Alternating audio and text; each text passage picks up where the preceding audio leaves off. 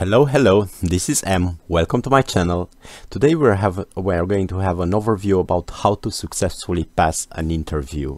Uh, any kind of interview, no matter which will be the vertical, the segment, type of company that you are applying for. So we will have a general overview about applying to a role each kind of role uh, we will see step by step different profiles but please do keep in mind that this video is related to the individual contributor role and please do watch the uh, management role which is slightly different. So there are not main differences but there are some um, approaches that can be uh, touched in, in a different uh, way so let's move ahead and start with the basics. Uh, the very first point that we need to keep in mind is your CV, your curriculum vitae, which is your card, it's your brand, it's your image overall that you are going to present to the hiring team, to the hiring manager.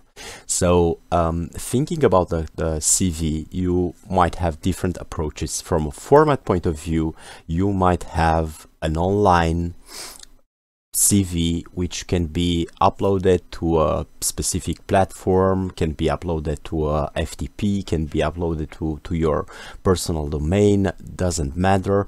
If you have an online CV, go ahead and promote it.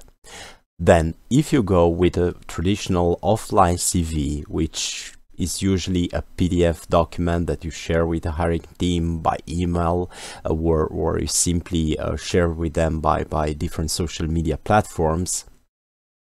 That could be also good, but uh, link it whenever possible with your profile. Keep it online whenever possible.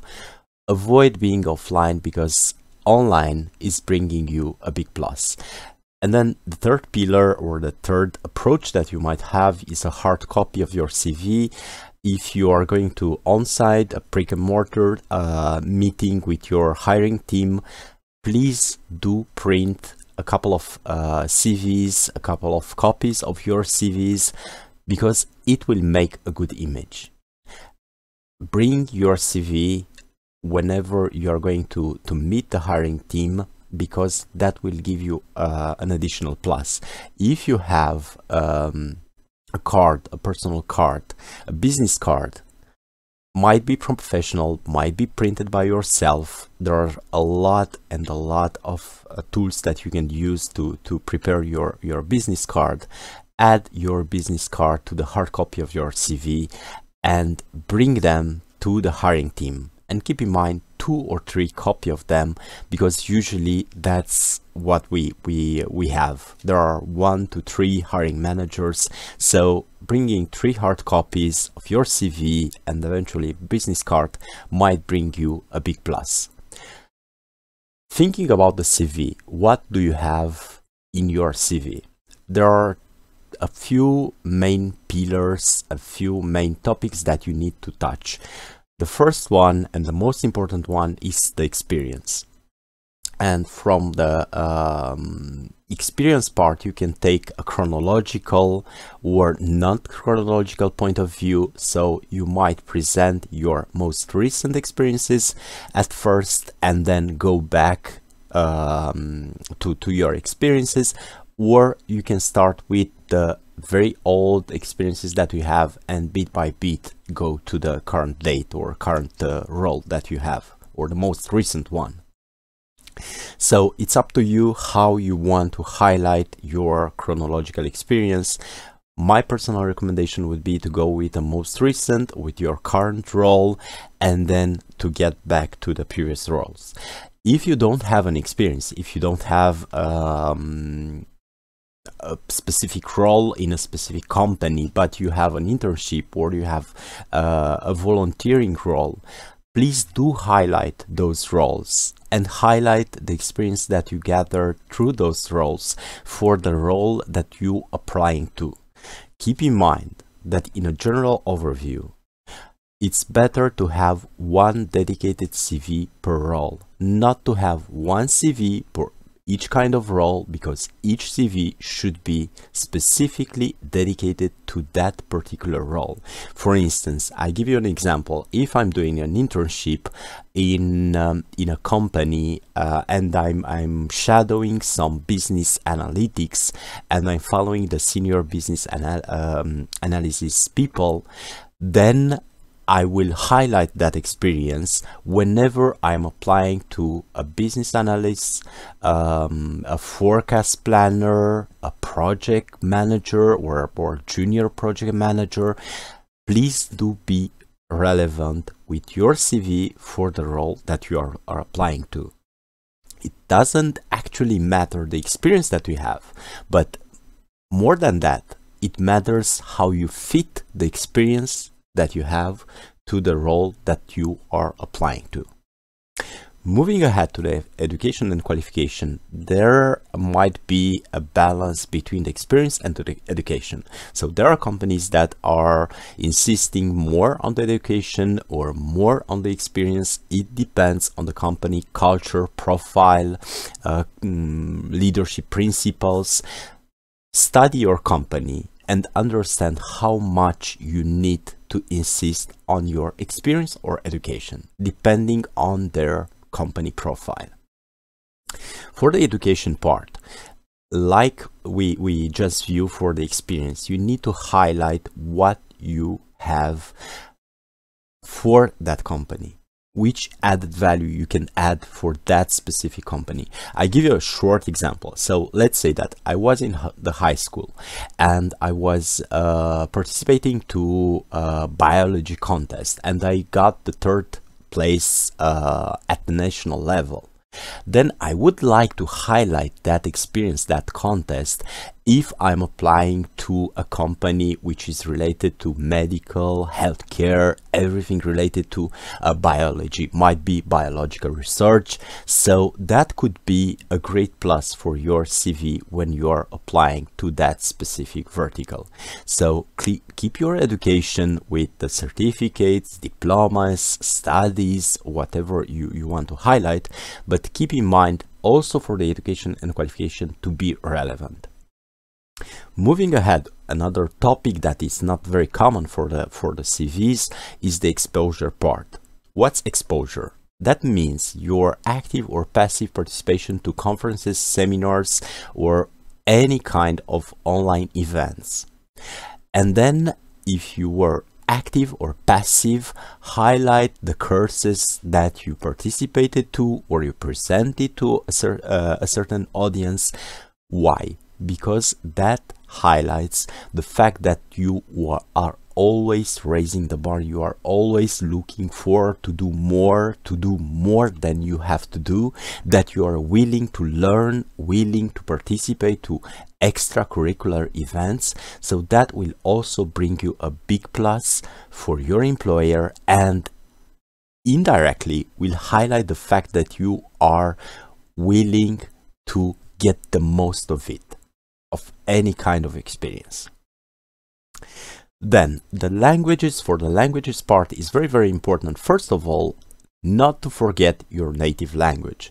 I saw a lot of cases where people are speaking a lot about foreign languages, um, presenting their skills for the foreign languages, but we are native in a specific language. Do not forget your native language and then present in a clear, consistent way the foreign languages that you are you are um, knowing or you you work with, keeping in mind that from a, a framework, a linguistic framework, that would be good to avoid having an A1, A2, um, um, highlights because that's usually not bringing a big plus to the company. So uh, from, from a language perspective, we have from A1, A1, A2, beginner. Then we have B1, B2, medium. And then we have the C1, C2, advanced, uh, where the C2 is close to a, a native uh, level of speaking that language.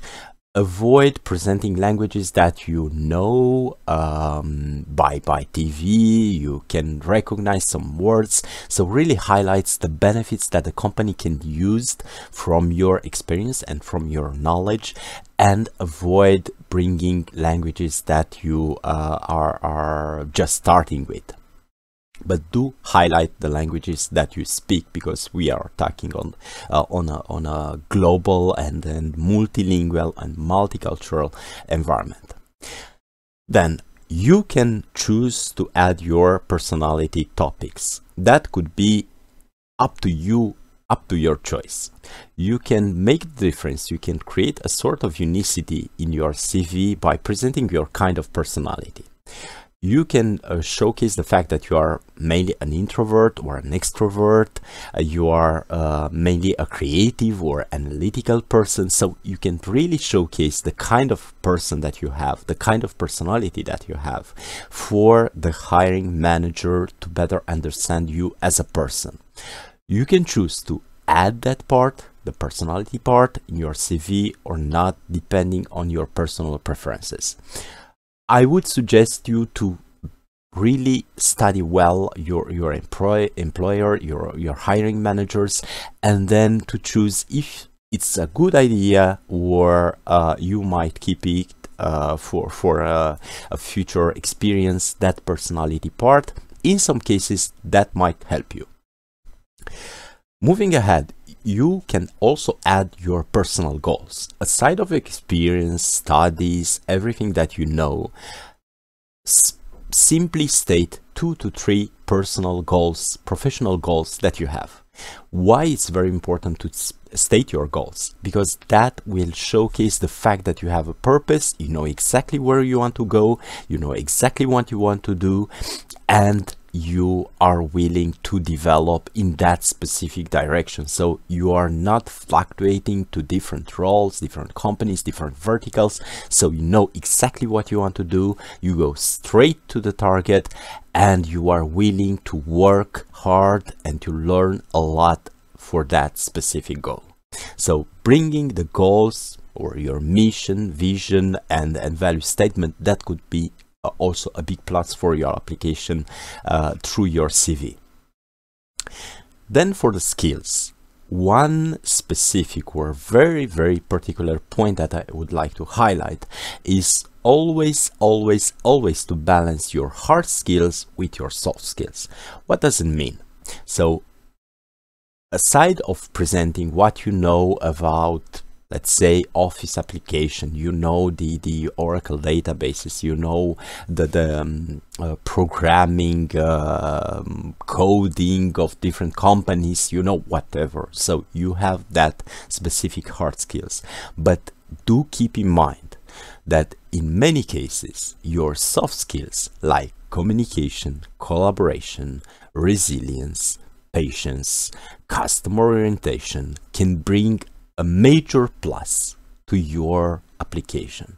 So please do balance your hard skills, your studies, what you know with what you are able to actually do with people. What how do you interact with people which are your superpowers in terms of collaboration in terms of professional environment and then of course your contact details are very very important you need to state your your landline or your cell phone number your email address. And then if you have a website if you have a, a, profile that you would like to share do share it because that will also bring, bring uh, a consistent plus to your to your uh, application.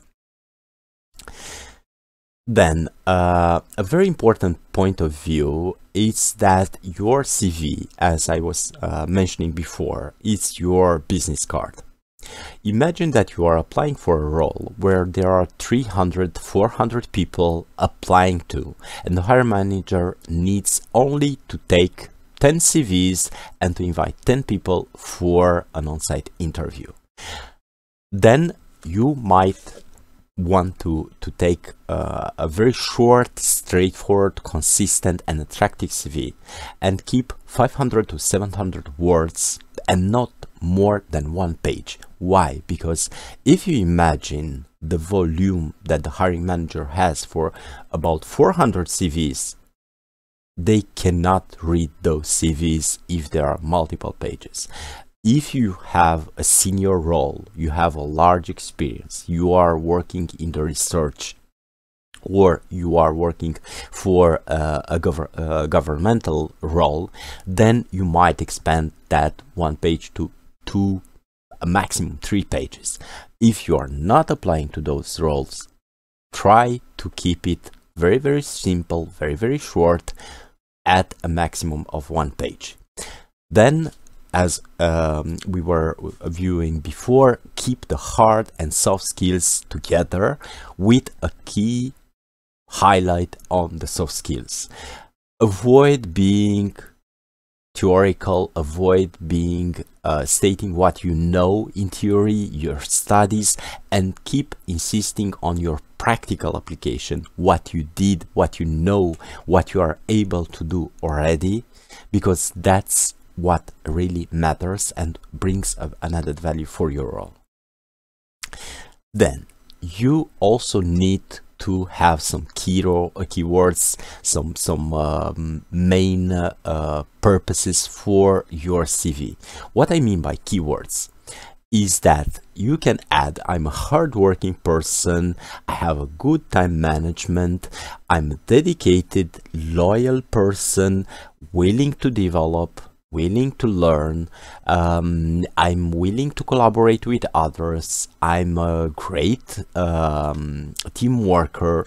So keep those keywords applicable and also study your employer your hiring manager and then adapt your keywords to that specific company to the culture that company the company has study that company and try to link the keywords that are defining you with the company philosophy that you are applying to.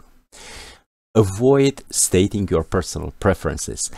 Stating the hobbies is very important. If it's a, a good part of your CV, it's important. But do not insist too much on your personal preferences because that's are are not going to make a difference for your prof professional application. So if I like to make jogging early in the morning and to feel the grass, that's zero value for my employer. So present your personality, present you as a human being, but without insisting too much on your prefer personal preferences. And then one very important point is to be unique. To be unique in any possible way. You might add a photo, you might create a, a video blog, or you might create a video of yourself and turn your CV into a video CV.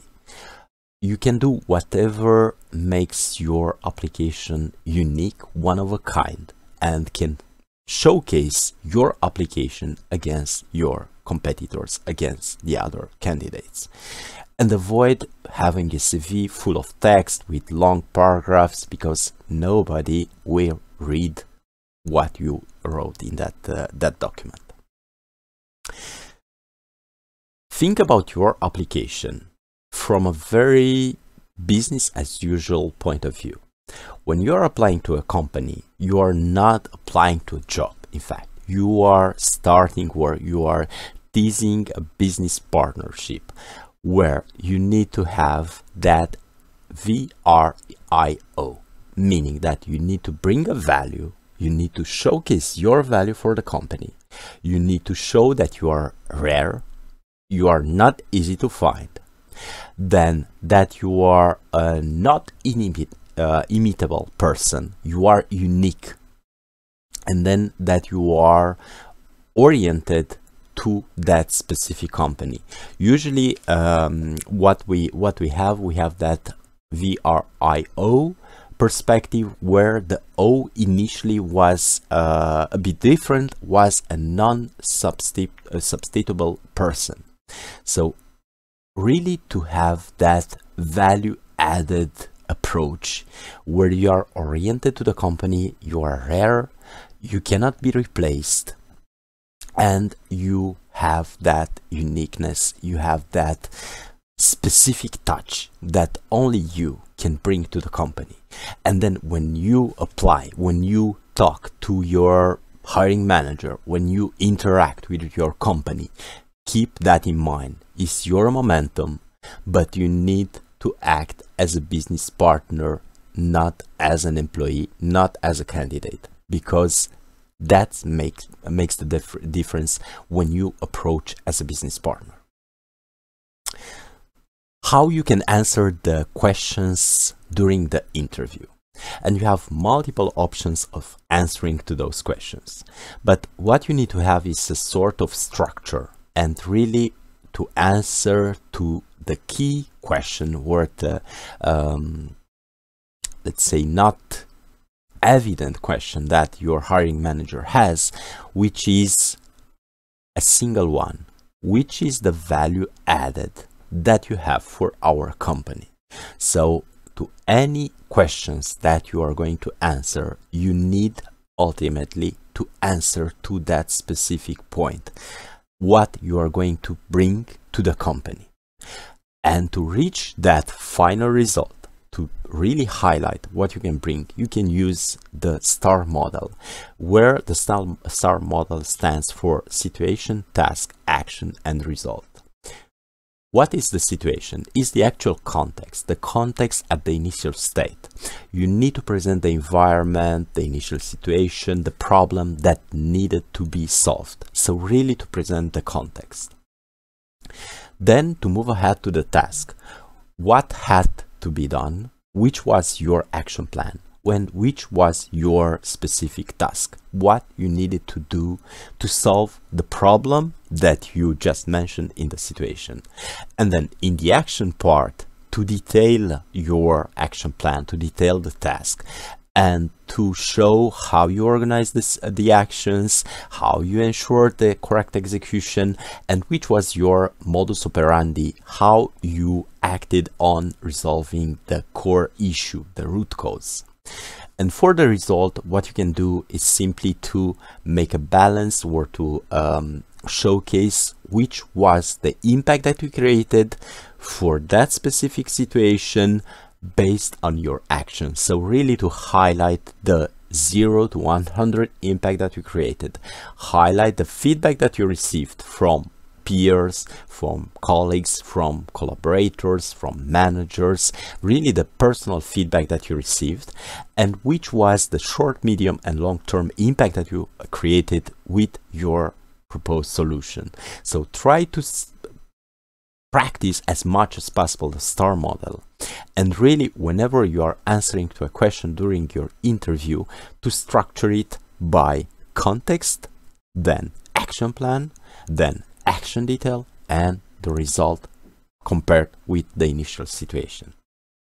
You uh, I invited I, I, invite you to look up also for the the video dedicated for the star model but today we are only going to highlight the overview about the how the star model works and I would like to insist only to one topic.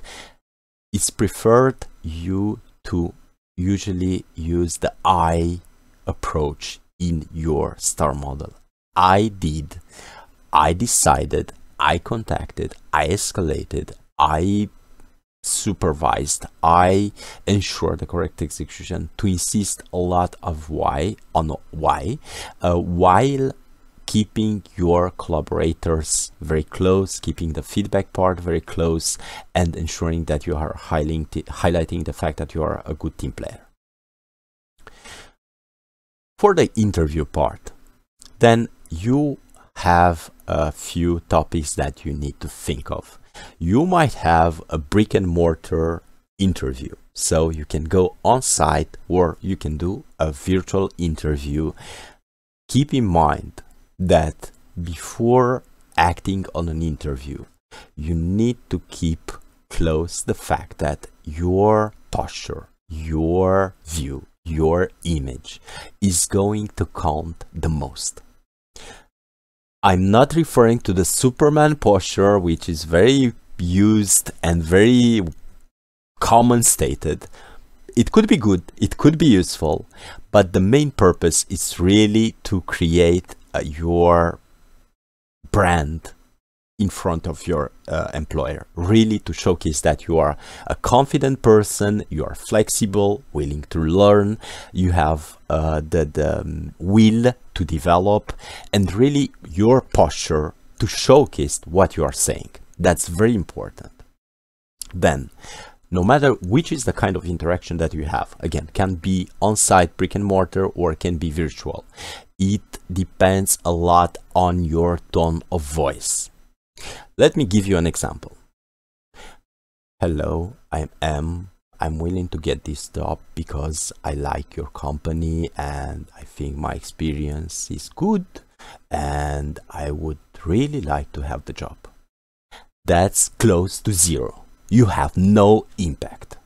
You need to have an impact and to say, the reason that I'm willing to join your company, name it, is that me am I'm really a great fit for your company and I think that my experience, my knowledge, my skills, my previous experience are going to bring an added value for your current company uh, vision and your future company vision. And then to insist on your tone and really to share the passion that you have through your tone. So that would be the second pillar. We have the image, the posture, then you have the tone, and then the very least might be surprising is the content that you are going to answer to that question. So what you are going to answer to the question counts the least. I'm sorry to state that, but it's not going to count because we interact based on different states, different emotions. So you need first of all to create those emotions and then to highlight your answers. Now, let's move ahead and start to see a couple of uh, very common questions that we have during an interview. And one of the first one is, tell me about yourself. By this question, the hiring manager is looking to understand your professional profile and the evolution for your career.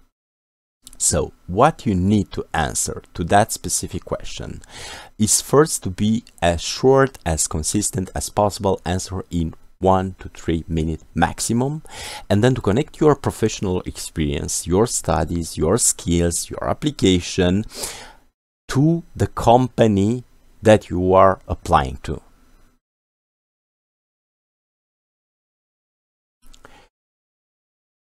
Please do connect your, your answers for, tell me about yourself uh, to a very short and consistent answer, one to three minute maximum, and then to connect your professional experience, studies, and skills to the company that you are applying to. That's your momentum. You are going to create your self portrait. Please do use an impactful vocabulary. You might use keywords, you might use everything that will showcase the added value that you have for the company that you are with in that moment during the interview. So keep in mind that answering that question is essential for the very first impression for your personality, your application, to that specific role. And if you manage to also create a logical path where you present it as a personal story, that can attract the hiring manager even more and keep them engaged because they will keep engaged for one to two minutes and then you might lose them. But if you create that history, that story about yourself, that overview about your personality and your professional experience that you that can create your attraction for the hiring manager. Moving ahead with another common question, why would you like to work with us? At that question, the hiring manager would like to understand your level of acknowledgement about the company and the motivation for the role, just to ensure that you are not, not applying by chance in random way. So answer in one to two minute maximum. And you this is the moment where you can highlight everything that you have previously learned about that company. Everything about who the company is, which is the history that they have. They might have 10, 15, 100 years ago. Doesn't matter. It's very important to know the articles, to know who are the hiring managers, which is the company philosophy, which are the leadership principle, the core values, what they are doing, which kind of products, services, or, or um, items they are they are delivering. Please do showcase what you know about the company because that will attract a lot your comp uh, your hiring managers. Then link the reasons that you have as a person to the core values, to the main uh, directions that the company has and fit yourself within the company without explicitly saying so. So try to describe you in a present and also future of the company. So let's say that today the company is uh, producing, um, let's say, uh, offline software. Try to link your software or IT knowledge about the offline software, but also link yourself to a future cloud-based approach or cloud future of the company and try to present depending on the, the, the, impression the hiring manager personality that you have in front of you try to fit yourself also within the company future as you are imagining it then a question that I really, really like, um, or not that much, is where do you see yourself in five years? I really like, between quotes, that question. But actually, what the hiring manager is doing is wanting to understand your professional profile and your vision about your career. So, jokes apart, to what where do you see yourself in five years? Again be short be consistent and insist on the fact that you want to have a solid long-term growth within the company showcase your lo loyalty uh, your motivation to contribute to the company's success and highlight how you would like to grow bit by bit with the company. So do not insist on your personal growth, but insist on the value added that you can bring to the company for the company to grow and you to grow with the company. So that could be an option of answer to that uh, specific question. Then we have two kinds of questions. So we are going to start with a positive one. Which are your superpowers? As a matter of fact, when, when the, the hiring manager is asking about your superpowers, your qualities, they want to know from you which are the reasons for choosing you and not another candidate. So that's also a very, very important question when where you need to be consistent. And then you need to think about the hiring manager, about the hiring company. So please do keep in mind that your qualities, your superpowers should answer the needs of your company, of the hiring manager company that you are applying to. It's not about you, it's about them.